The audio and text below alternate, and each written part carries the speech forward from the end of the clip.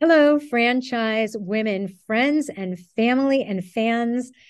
Thank you for listening to the Franchise Women podcast. We're back to deconstruct another episode. This time we interviewed Carey Gille, and she is the founder of Franchise Fastlane.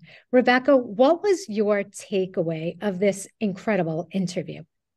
Well, as you know, it was power packed. Um, but she started off with a really cool premise where she defined vision. And she said that vision is a clear and compelling picture of a preferred future.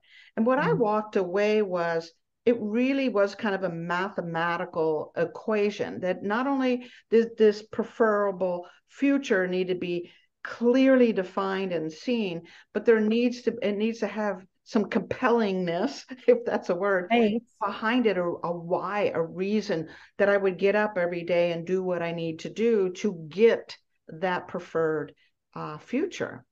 Yeah, that's so true, Rebecca, because there's an element of it that's happening now, but then there's a picture of it in the future that you're adhering to, this picture in your mind. So, to get the full breakdown of how Carey explained it, definitely click the link and listen in. You are not going to want to miss this one.